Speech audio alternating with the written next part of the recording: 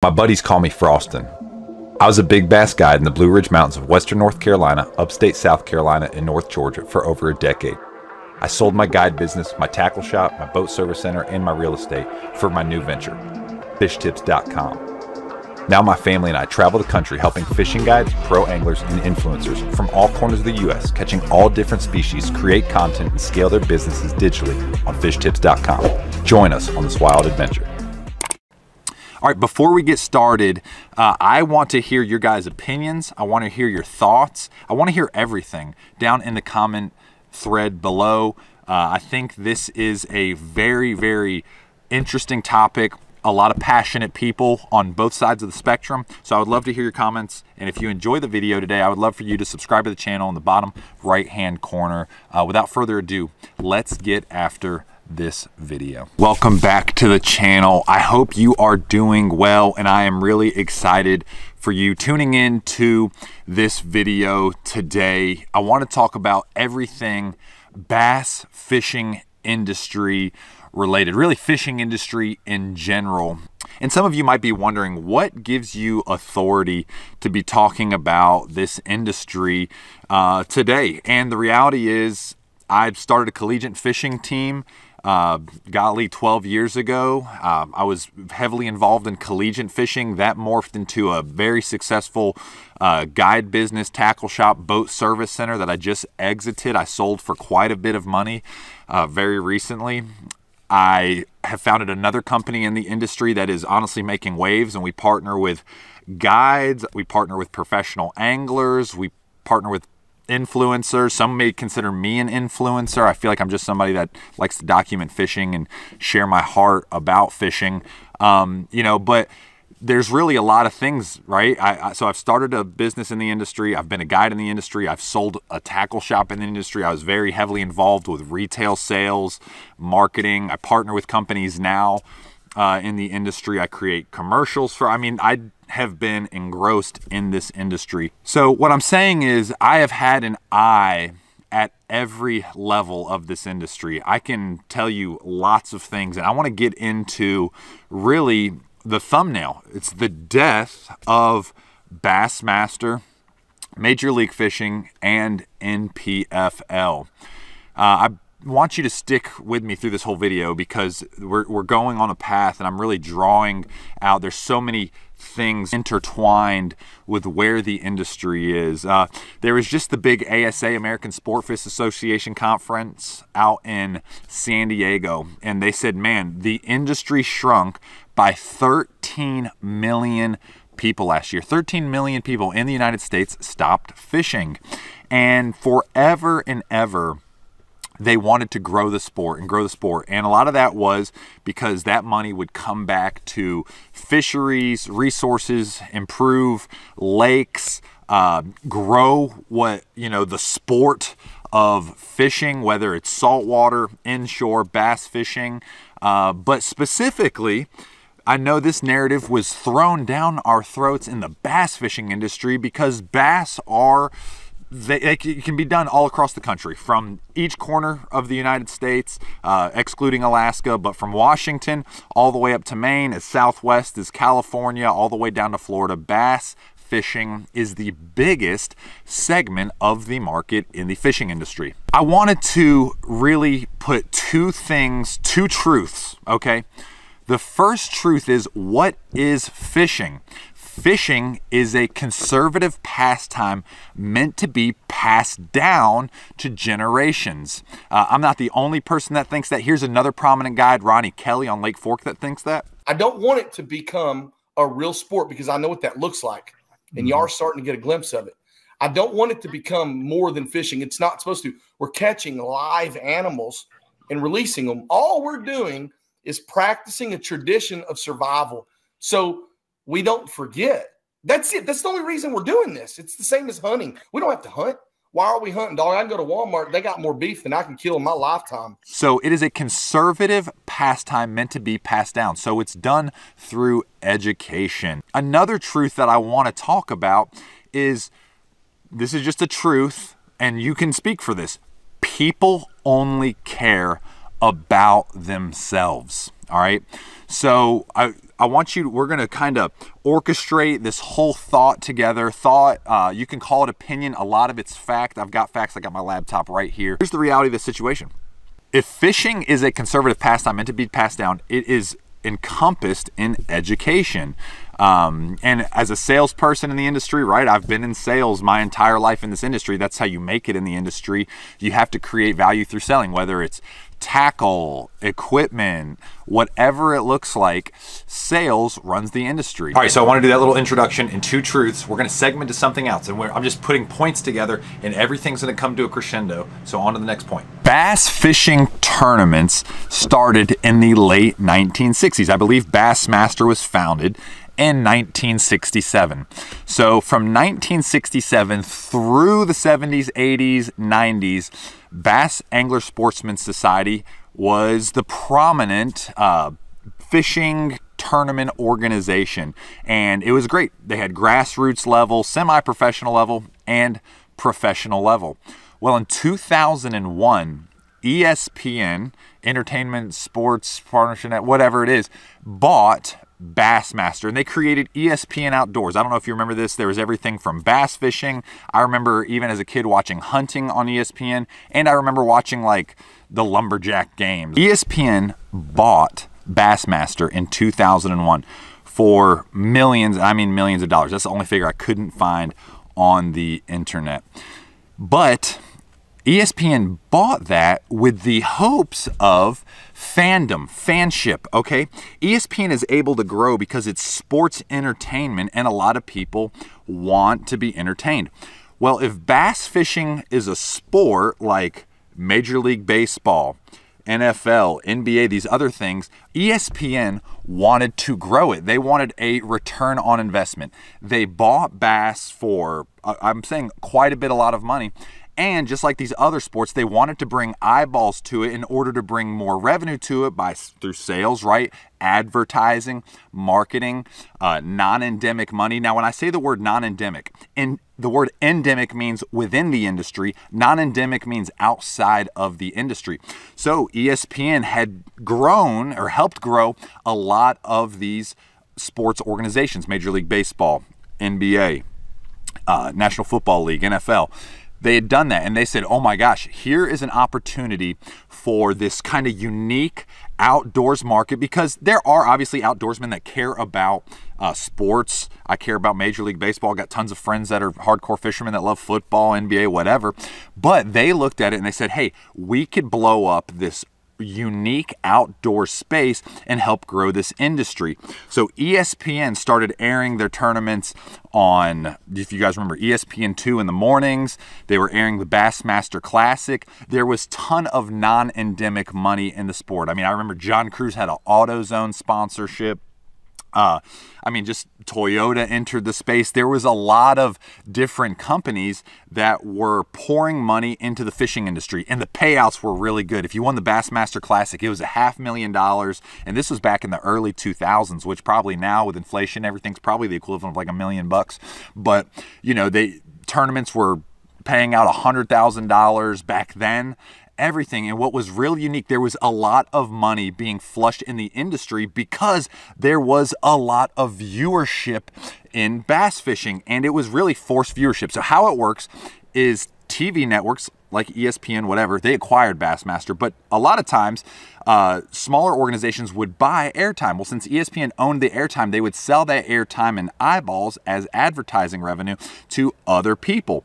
Well, after a while, they realized that, wow, fishing is not drawing the eyeballs that we thought it was. They were spending a ton of money to try to create a ton of viewership to sell advertising and get non endemic, outside of the industry money into the sport of bass fishing. Well, what ended up happening in 2010, ESPN said, We are done. We are losing so much money in bass fishing because there's not enough fandom. We've tried to grow the sport, there's not enough fans. So here's the deal if you look at other major league sports, like look at these follower counts. Boom, this is Major League Baseball. This is the NFL. This is the NBA. Okay, timeout. Here's Bassmaster. All right. So these other professional sports leagues have monster followings. And by the way, all of the sports teams within that honestly have more followers than the organization themselves, except maybe the NBA and the NFL. But I know Major League Baseball for sure. But you think about this bass fishing does not have the fandom or the followers or the viewership that these other sports have. It's just that simple. Bassmaster got sold back to the McKinnis family, and uh, uh, and part of that was an investor group. They were like, "All right, here's the deal. Uh, we just need to kind of figure out what we're doing." Well, during this whole deal, th- this whole thing is based on cable television. I want you guys to hear this. ESPN, everyone has ESPN. It doesn't matter the cable television package. So you forced viewership if you wanted to watch the outdoors. Well, within cable television, there was the Outdoor Network.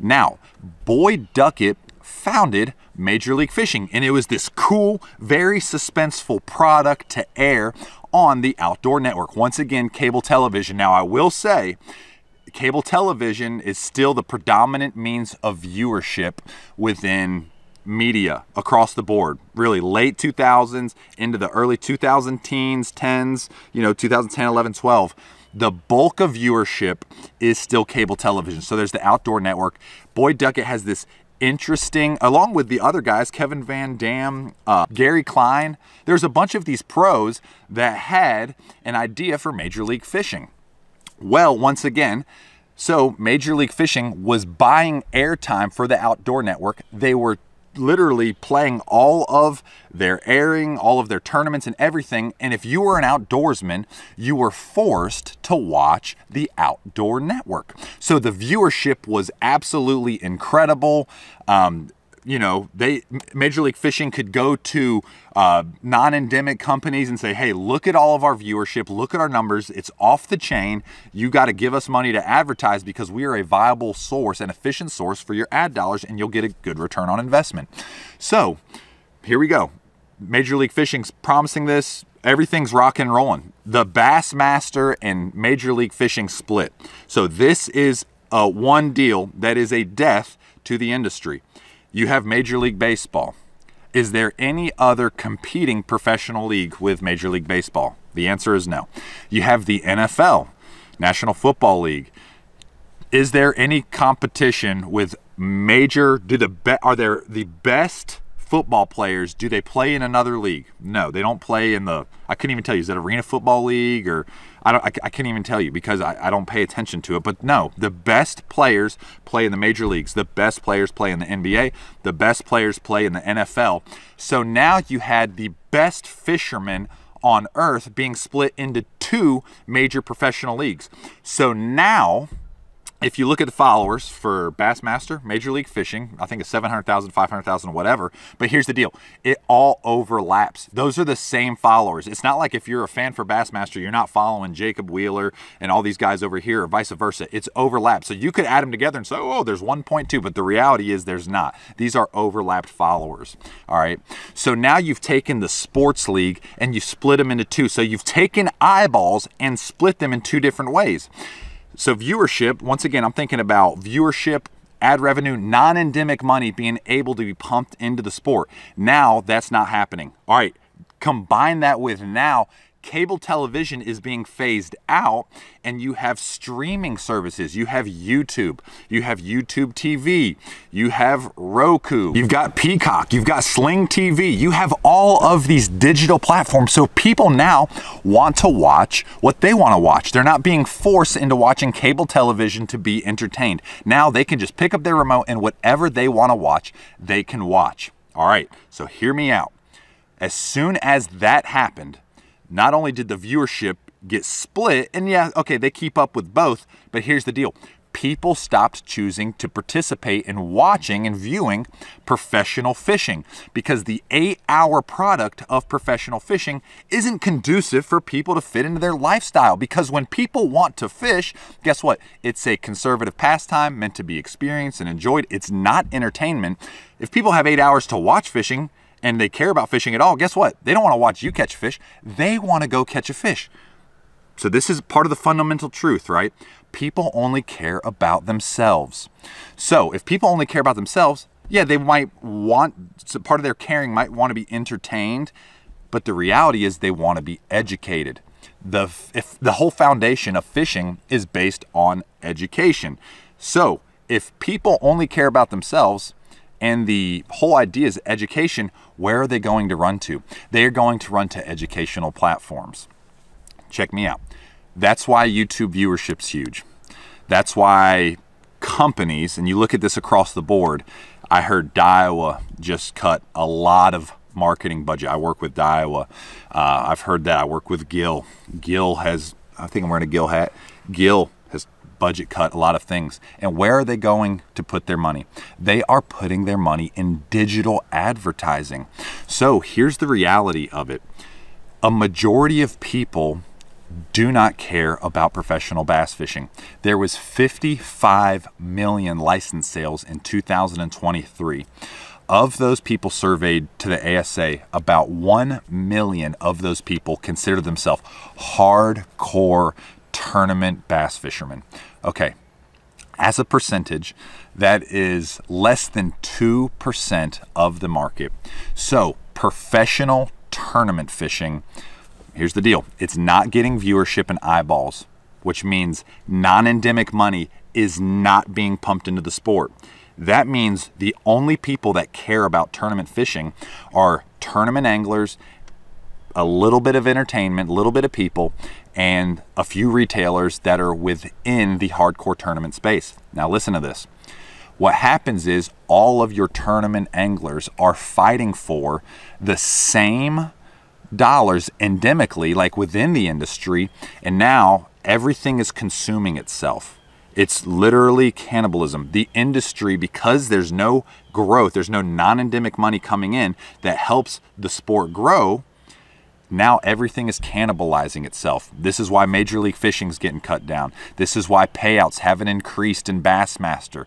This is why you're not seeing monster non endemic companies sponsor fishing. Now you could say, hey, Toyota's there, General Tires there. Well, yeah, fishermen tow boats. I'm filming this on a boat. I need tires. Everybody needs tires. Chances are, if you tow a boat, whatever, you have more tires than most people. You need to buy more tires than most people. If you have a tow truck for towing your boat, whatever, they are money spenders, right? A lot of the viewers of professional bass fishing are money spenders. But the reality is, if they're money spenders and they have bass boats and they have trucks, they want to go out and fish, which means to them, education is more important than entertainment. So the only people that care about professional fishing are professional fishermen themselves. And here's the deal people only care about themselves. Think about that tournament anglers, and I've tons of them, tons of friends. Some of my best friends are the biggest names in the industry. They are the ones that care about being the best. And there's nothing wrong with that. I encourage that. I think with every endeavor you do, you should desire to be the best. A lot of professional tournament anglers are the ones that care about professional tournament fishing. Thus, because they want to be the best, and there's nothing wrong with wanting to be the best, it just means it's your money that's going to be on the line. And that's where, like, you think about the industry, it cannot uphold within itself two, three professional tournament organizations the NPFL, Major League Fishing, Bassmaster. It can only uphold one tournament organization. There's not enough viewership for it.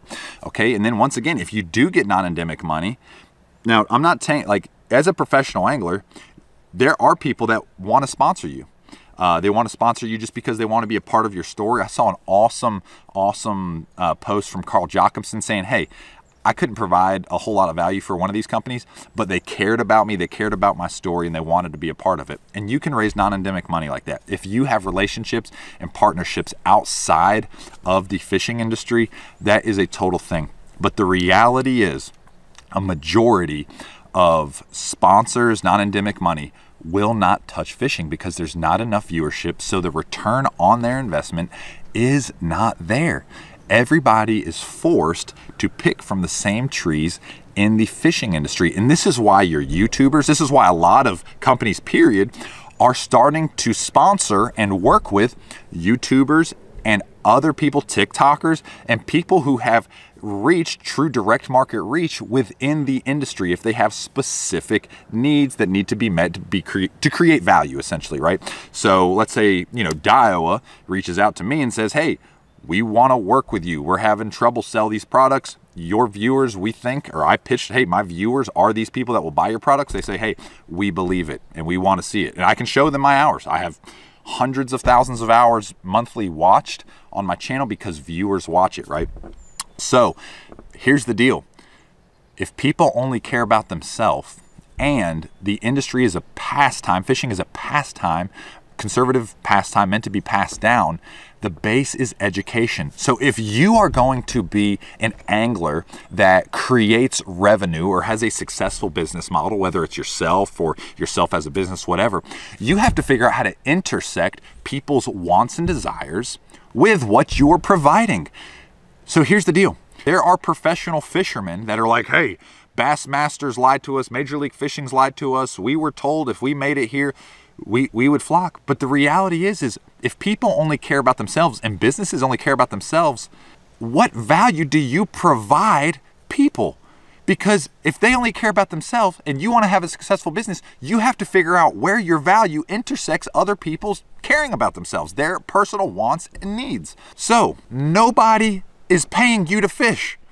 Nobody's paying you. If they could pay you to fish, guess who they would pay to fish? They would pay themselves to fish. That is how it works. There are a lot of people in this industry. There's young tournament anglers, mid level tournament anglers, and pros that are like, hey, pay me so I can fish. Brother, sister, hear me out. It does not work like that. You have to figure out how to create value for other companies and literally provide value to customers. You are the conduit to which companies and customers intersect. And if you only care about you, because that's a fundamental truth, and you don't care about others, you're not going to grow. And by the way, this is why professional tournament fishing is dying because you have pros that actually only care about their fishing addiction, which there's no problem with that. I'm a fishing addict too. But they're like, I want to be secretive. I want to, I don't want to tell, I don't want to do this. I'm going to do the bare minimum for my sponsors. And all of a sudden, there's no education because once again, the industry's founded on education. There's very little education provided. But here's the deal. Education leads to sales. That's how you sell, right? Uh, if a customer needs um, a new truck, you need to educate them. They're like, hey, I think I want a new truck, but I'm not sure what to do. You would educate them on the problems they have uh, what what they are seeking, and you educate them, saying, "Hey, this truck does this," or whatever. But sales is rooted in education. If you are not educating, you are not selling. It is that simple. So you have a lot of pro anglers, you have a lot of people they want to be secret and they don't they don't want to go out of the way, the way to help. Well, here's the deal that means you are not creating value for sponsors, you're not creating value for customers. Thus, your value is only in yourself because you're selfishly have selfish perspective, which isn't wrong, but you just have to remember people only care about themselves. So don't think that companies are going to pay you to fish when you only care about fishing. You have to care about educating, you have to care about uh, the consumer, you have to care about meeting people where they're at, you have to care about meeting people's needs and wants. There are a lot of professional anglers that only care about themselves, which, by the way, there's nothing wrong with that. Absolutely nothing wrong with that. But a lot of pro anglers need to realize you're just always going to be playing with your own money. It's going to be really, really hard to create value and build your personal brand, build sponsorship dollars, which allow you to be on the water more and so forth without helping create value for people. If you step back and think about it, ESPN buys Bassmaster to try to increase viewership and bring in non-endemic money. There's not enough fandom, there's not enough viewership, so they sell Bassmaster. Bassmaster and Major League Fishing are forced viewership on cable television. Cable television goes out. Now, Major League Fishing National Professional Fishing League and Bassmaster are scrambling to try to figure out how to get more viewership so they can get more non-endemic money to help grow their sports and platforms. The reality is it's not happening because there's not enough fans in fishing and then tournament anglers, there are some that do a great job of, of educating, creating value for companies and customers, but tons of them don't do that. They only care about fishing, so they're not helping grow the sport. There's not enough fandom to raise non-endemic money. So the sport of tournament fishing is dying. It's dying. There's no other way around it. I will say this. I've been extremely successful in this industry. If you look at how much money tournament anglers make annually, this is the metric. Now you could say, hey, that's not including sponsorship money. I assure you, sponsorship money is not what you think it is. Uh, some people, in their pride and ego, will tell you, "No, it's it's good."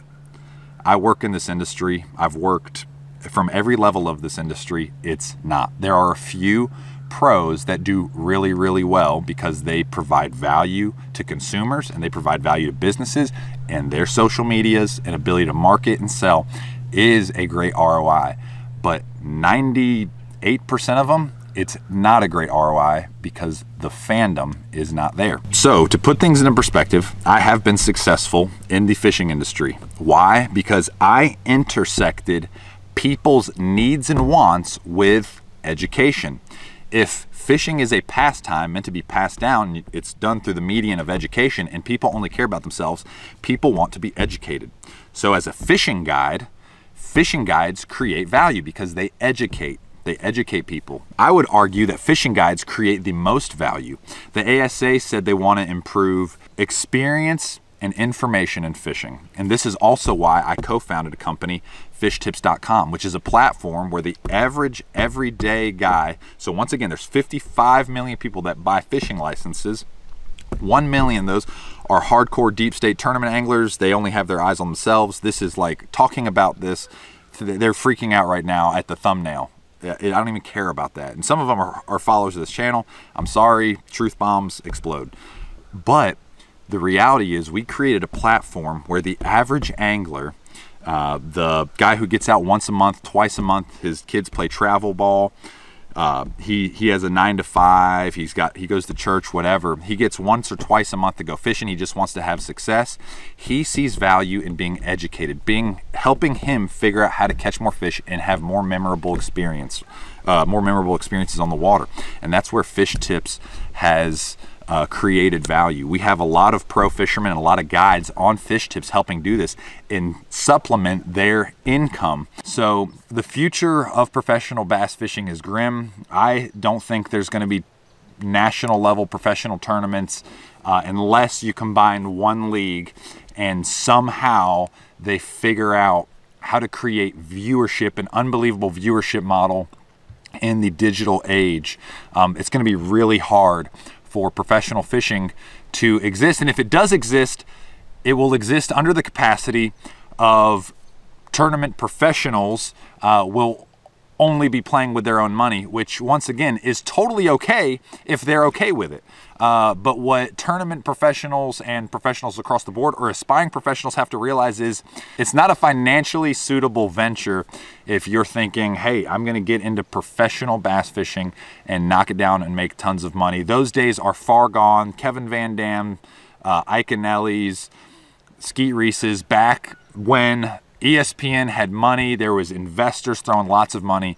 Man, you could really do well back then. Those guys were the media of the sport. They were the tournament professionals of the sport. There was multiple revenue streams encompassed within that. Man, those days are long gone.